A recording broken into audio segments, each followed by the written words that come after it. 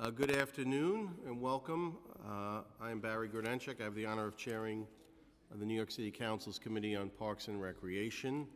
Uh, Today, we will be voting on one piece of legislation, which is sponsored by my colleagues uh, Jumaane Williams, Laurie Cumbo, and Mathieu Eugene, and we do expect Councilman Eugene here shortly to uh, discuss that. We'll ceremonial, ceremonially co-name a street in Brooklyn after Jean-Jacques Dessalines, one of the leaders of the Haitian Revolution and founders of Haiti. Uh, my colleagues will speak more about his accomplishments, but needless to say, as someone who was uh, born into slavery and who then led the revolution against France to ultimately become the leader of his country, uh, he is a historical figure and of great importance to the Haitian community here in New York and in Haiti. Um, and I uh, do urge my colleagues to support this co-naming. Um, but before we get to that, um, we are lucky to have three people who are going to testify. Uh, really honored to have them with us. Um, uh, one person who no, needs no introduction, but I'll give her one anyway, uh, is Assemblywoman Rodneyse uh, Bichotte. Uh, we're also joined by Sergey Joseph and uh, Gerard, I think that's Cadell? Cadet. I don't see that T cross, Mr. Cadet. Mrs. Rosenthal would not be happy. Um, so I'm going to ask the Assemblywoman uh, to testify first, and we welcome her testimony. We're also joined today, of course, um, by one of my colleagues, uh, Councilman Joseph Borelli. We have two former Assembly members here and one present one. So, Assemblywoman, please. Thank you so much, uh, Mr. Chair. I, we really appreciate uh, you and your committee uh, for putting this hearing uh, specifically for the co-naming of this great hero. I first want to introduce myself. My name is Assemblymember Rodney Bichotte. I represent the 42nd Assembly District, which is part of Flatbush, Brooklyn, and it holds the largest Haitian concentration of Haitian population um, in New York State and the largest in the U.S. outside of Haiti. So we are certainly proud um, to be here today to talk about uh, a historical figure who we hope to co-name in our neighborhood as we have pronounced Little Haiti this year in the City Council in Flatbush, Brooklyn. I do want to thank uh, the speaker for, um, again, allowing us to, to have this hearing today. And I would like to thank the two co-sponsors of this legislation, which is the Majority Leader, uh, Laurie Cumbo, as well as uh, City Council Member Jumaane Williams, who's been, again, really at the forefront of fighting for, on behalf of the Haitian community. Um, by co-sponsoring this um, legislation, um, a street for a street co-naming after a world leader, one should not be forgotten because he was black or because he was a slave. But we should recognize his strength, um, who defeated a well known army, the French army. Jean Jacques Dessalines is one of the greatest heroes of the modern world. He is one of the founding fathers of Haiti, having taken charge of the Haitian Revolution to stunning, improbable, and imaginary, unimaginable victory in defeating the French Napoleon army in 1804. This was significant to world history. The Haitian Revolution is not only the first and only successful slave revolution in the Americas, but also resulted in Haiti being the first Latin American country and second in the Western Hemisphere to declare its independence after the United States declared independence from Britain in 1776. He was the first ruler of Haiti. Now, the independence of Haiti reshaped the Atlantic world by leading to the French sale of the Louisiana to the United States and encouraged Republican revolution in Latin America and eventually Africa. And under one of the generals, Pétion, Haiti provided direct assistance to Simon Bolivar on at least two crucial occasions during the latter's successful efforts to secure independence for the Spanish colonial territories throughout Latin America and South America. As you mentioned, um, Dessalines was born into slavery in the French colony of what was known as Saint-Domingue. In 1791, he then joined the fight for freedom when thousands of brutally exploited, enslaved people rose up against their colonial masters and their enablers in France, who murdered and massacred hundreds and thousands of people across the Caribbean. Can you imagine that? Hundreds and thousands, and probably millions of people across the Caribbean. This is what the French did. He joined Toussaint Louverture's army, who was an ex slave uh, who actually came to France's aid during its revolution. Nonetheless, as many of you may know, Toussaint Louverture, diplomacy, and some may say his naivety, um, was then used to mislead him through trickeries of France. He was then captured, he was shackled, he was kidnapped out of his own country, and shipped to France where he died. So Jean Jacques Dessalines, a man of very strategic and smart, he witnessed that he could not trust the French. Sometimes victory is momentarily. And for the French, it was with hope that Haiti's victory was momentarily. With letters of proof showing that the French was not done. So, yes, after Dessalines won, he ordered these oppressors to leave the island. They didn't, in preparation to re enslave the natives of Haiti. With that, Dessalines did order to execute the oppressors who were seeking to oppress and re enslave Haiti. However, it was in the name of freedom, it was in the name of reclaiming back their land, and not in the name of oppression. Also, you may find there's some readings, in particular Wikipedia, that Jean Jacques Dessalines killed whites, all the whites, which is not true. He had very close allies to the Polish who left the French army, and also he had also um, allied with some of the French Haitian loyalists. So you know, it is funny how, again, this topic of black liberators um, that freed black country uh, right after the US, that helped the US expand um, its territory, that partnered and helped other countries throughout the world and the Americas, liberating and freeing and reforming, implementing reform policies. It's funny that this man uh, was questionable. Not only questionable, but his accomplishments were diminished in some of these readings so that he can be viewed as a savage and anim- animalistic, going around just killing people. It's one thing to kill for greed, like many of the colonizers and oppressors, but it's another thing to kill for freedom. When we honor many of our historical figures. Think about the lens of back then and not use the lens of today to criticize what was war. We talk about Columbus, Christopher Columbus, who had his share of capturing, murdering, and raping and taking lands. But we honor him still. We talk about Thomas Jefferson, who, as many of you know, had sex with a 12 year old slave, Sally Hemings. And at that time, slaves who were considered property didn't have consent, but we honor them. Talk about George Washington, the very first president of this great, mighty state.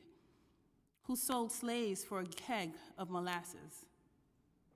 We, we talk about our beloved Abraham Lincoln, who had expressed opposition to racial equality and that the white man be superior, be the superior race. But again, we honor them and we honor them because we have to think about how we view these people back then. Do we see war of yesterday as we see war of today? The violence of slavery that was a plague for 400 years on humankind, whether it was on a small scale or large scale, we should take note of that. We should take note of the many slaves that were deprived of food, or whose hands were chopped and face and bodies were dis- disfigured, or who were just killed. How about stripping women of their clothes and inserting honey up in their genitals so that ants can eat them alive inside? Think of what was going on back then. How about stuffing dynamite in men's rectum and lighting them to be blown apart? Think of the cruelty after cruelty. These were examples of institutional and organized violence violence of whipping, starving, raping, ripping children away from their families. That is what we consider barbaric and animalistic, not the acts of Jean Jacques Dessalines, who sought to stop those who were evil. So the violence that French plotted against millions of blacks, or just millions of many, should not be equated to the few thousands of whites who were defeated during a revolutionary war in Haiti. What the French did was nothing short of genocide, and it would have taken violence to stop these violent acts. It's called war. And Jean Jacques Dessalines, again, killed to free, not only for Haiti, but for many countries around the world. The many people around the world, including the United States of America. He exemplified the true meaning of democracy. Nelson Mandela said it well Are we free? We are not yet free, let alone have the freedom to be free. So,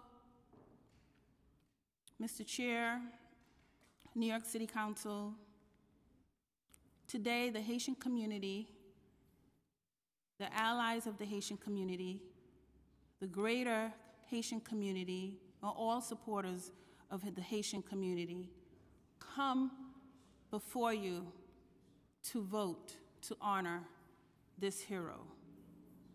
Let us pay homage today to my great, great, great grandfather, Jean Jacques Dessalines.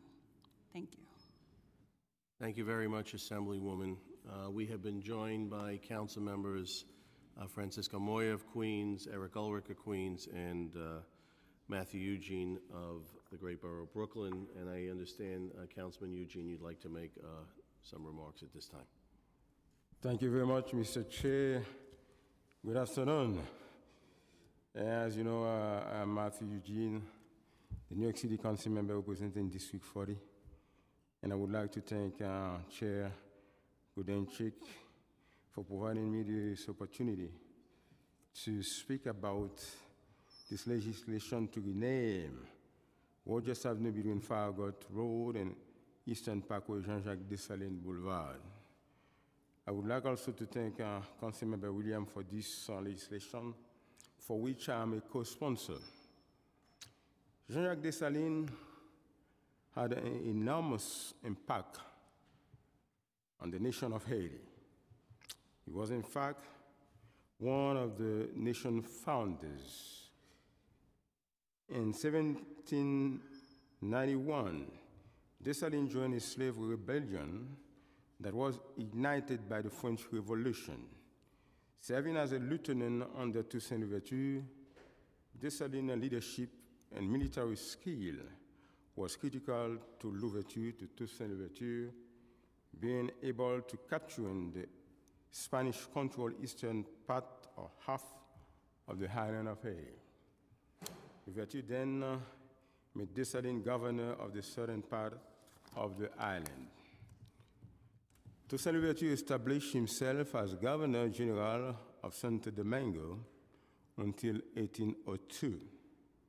The following year, Dessalines and other black leaders rose up against the French and expelled them from Santo Domingo when they attempted to reintroduce slavery. On January 1st, 1804, Dessalines, as the Governor General, declared that the entire island of Hispaniola was an independent country named Haiti and was governor until his death in 1806. I asked my colleagues and the committee to vote this legislation that honors Jean-Jacques Dessalines, whose leadership and great military skill were instrumental in abolishing the slavery and making Haiti the first black independent nation in the world. And I want to take the opportunity also to thank all my colleagues and the City Council, the City Council, for the continued support to me and to the Haitian community. And I remember in 2008 when we voted the resolution 1995 to ask the federal government to grant the TPS to Haitian people, the entire city council was supportive and we voted overwhelmingly. And also, during all the advocacy going back and forth to Washington, the city council has been always with me, with the Haitian community to ensure that Haiti, Haiti was granted the TPS. And I want also to take the opportunity to thank the entire council for the legislation on the family reunification. When I introduced this legislation also, the entire city council was with me, with the Haitian community, and we voted to ask the federal government to grant to Haitian people or to Haiti the opportunity for Haitian to come to wait for green card or for the legal status in the United States the same way they did for the Cuban. And I remember vividly also the support of the entire council when we voted the legislation to declare October 9th Haitian Day in New York City. Because October 9 was the date when the Haitian people, my ancestors, came to Savannah, Georgia to fight for the independence of the United States of America. They gave their life for this for the independence of the United States of America. And then uh, the legislation was voted by the City Council, and now officially, because of the support of the entire City Council, October 9th, the date of the Battle of Savannah, Georgia, historic battle for the United States and for Haiti also, is officially Haitian Day in New York City. We're going to celebrate it very soon. And I want to thank all of you, and I urge you, my colleagues, to vote yes for this legislation. Thank you very much. Thank you, Councilmember Eugene. Uh, We will now hear from Mr. Joseph. Thank you.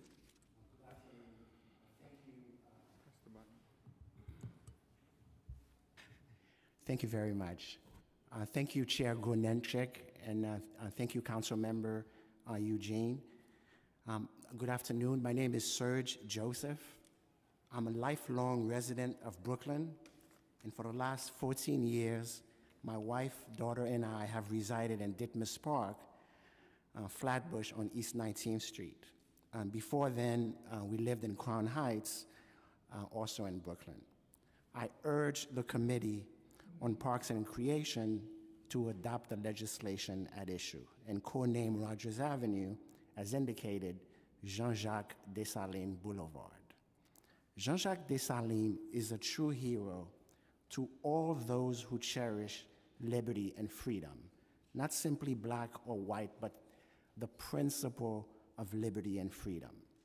I say this not only because I'm of Haitian descent and have an interest in advocating for one of my own, but because in words and deeds, Dessalines exemplify this love and freedom for all.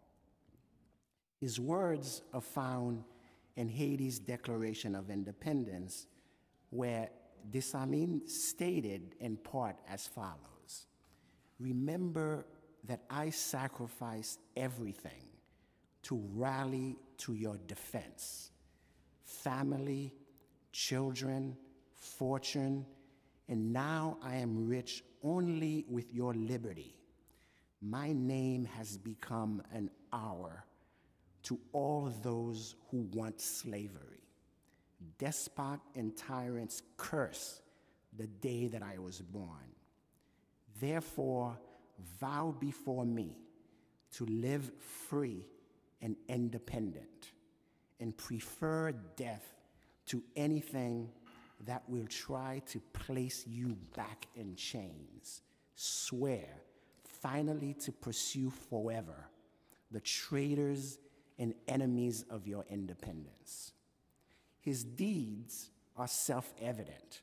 From the 1780s to December 31, 1804, and beyond, he fought a war of attrition against all the then superpowers of the world Spain, England, and of course, France. In conclusion, I would like to say that history does not belong only to its narrators, professional or amateurs. While some of us may debate what history is or was, others take history into their hands. Dessalines and the heroes of the Haitian independence have been silenced and ridiculed long enough. We have an opportunity to take history and rewrite history into our hands. Honor Jean Jacques Dessalines would be an incredible step.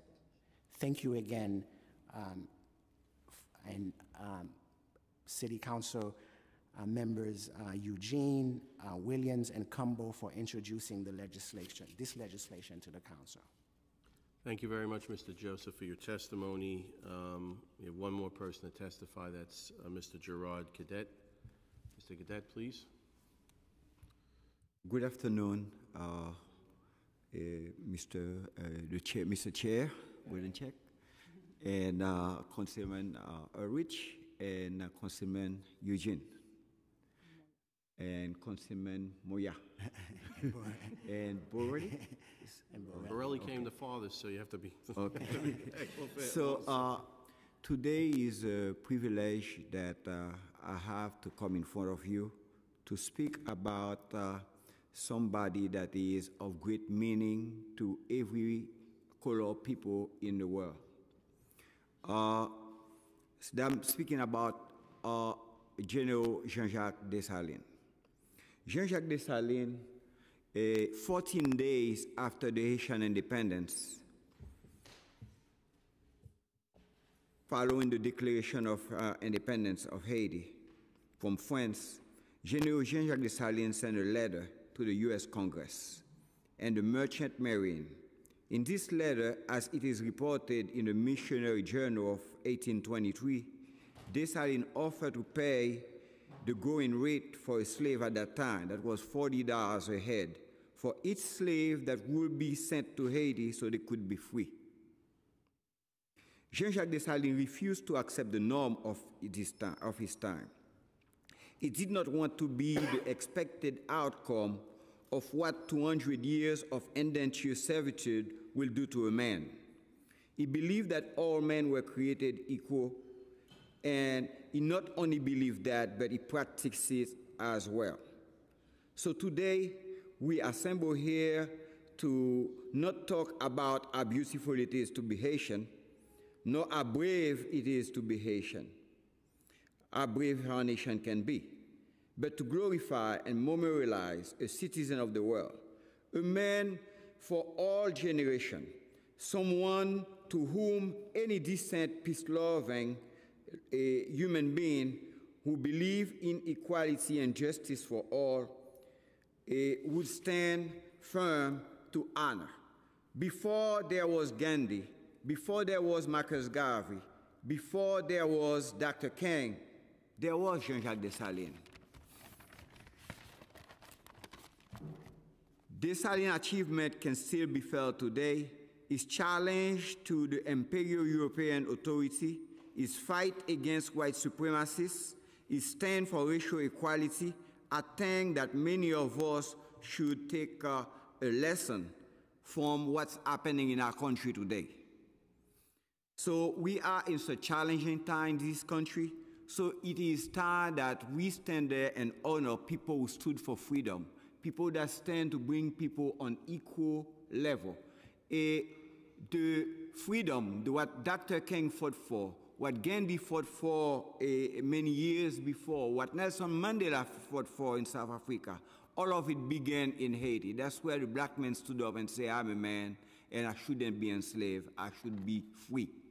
So with that, I'm really asking the, uh, uh, the, this committee to really support this endeavor of honoring such a great leader, somebody who really, really stood up and said that slavery no more.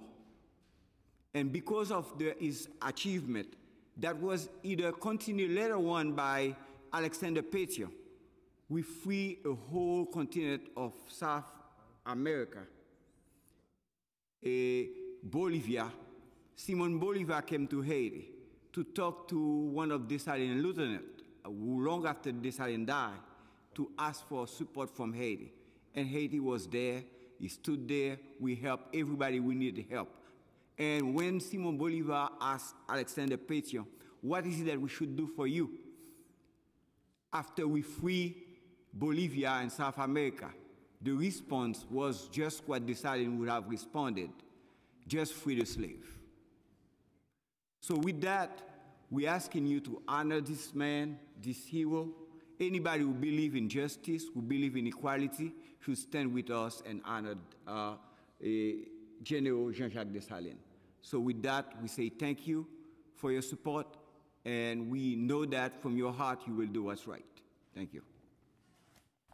Thank you very much, uh, Mr. Cadet. Again, thank you, uh, especially, of course, to Assemblywoman Bichotte and uh, all of you for coming to testify on this very, very important matter.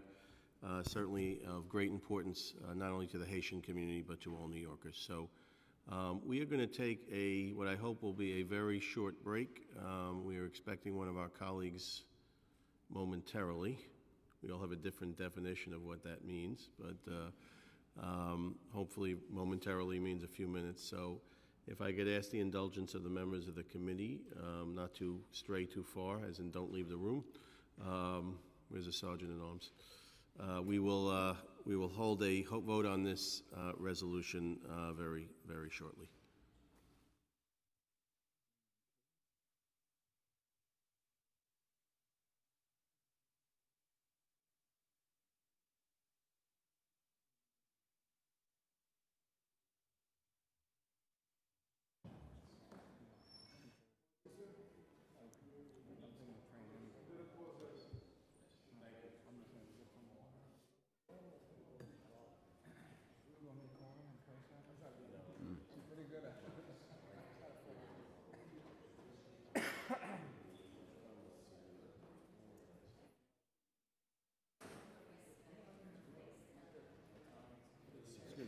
Go get some water, I'll be back.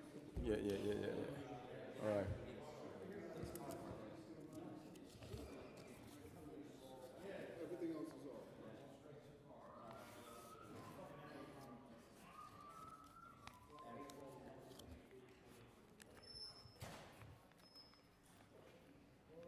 I'm sorry,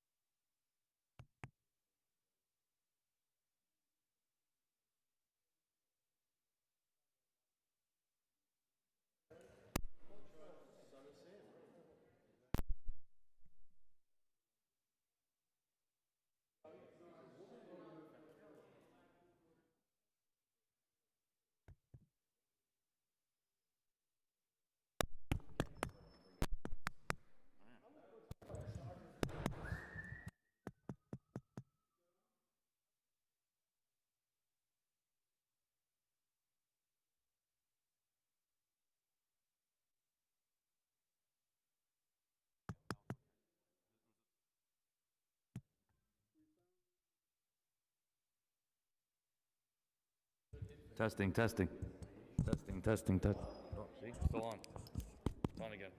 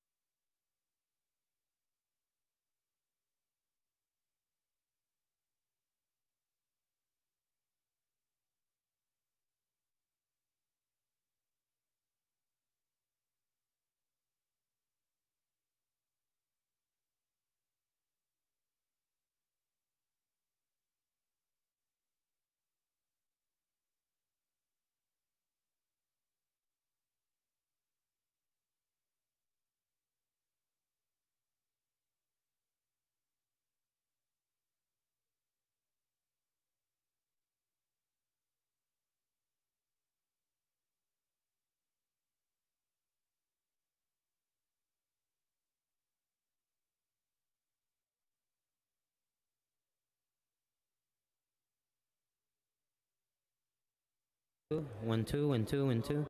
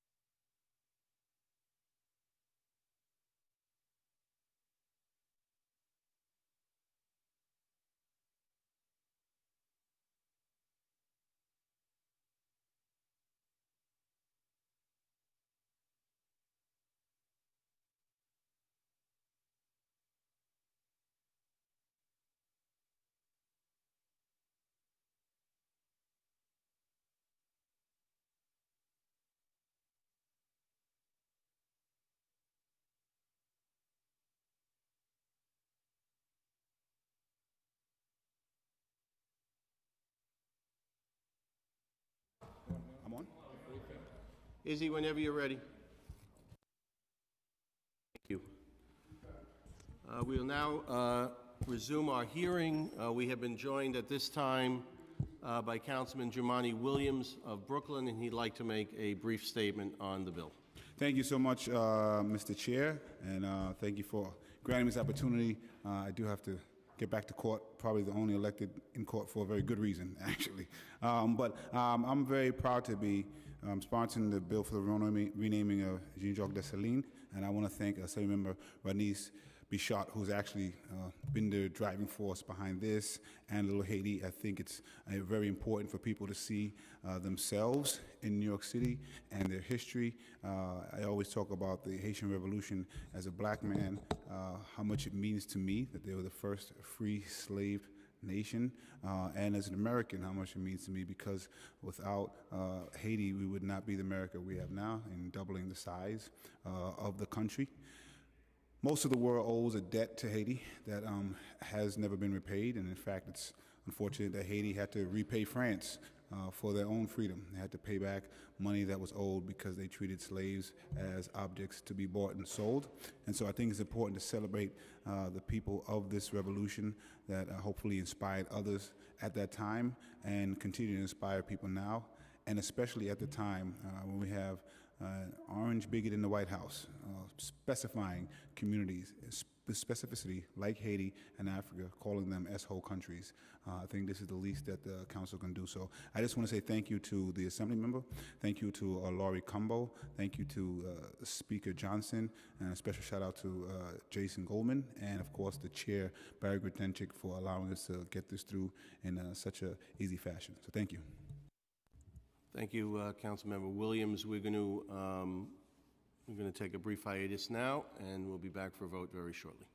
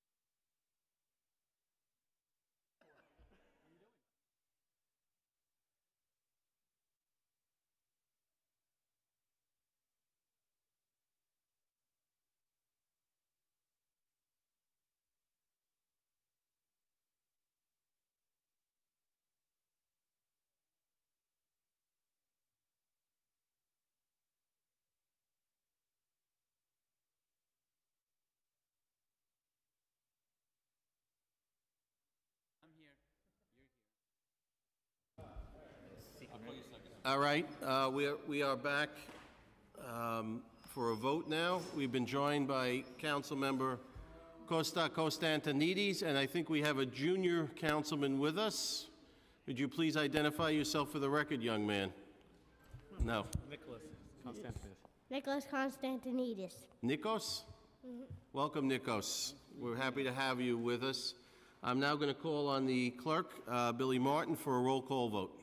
William Martin, roll call vote, Committee on Parks and Recreation, preconsidered introduction, Chair Grodenchik. Aye. Ulrich.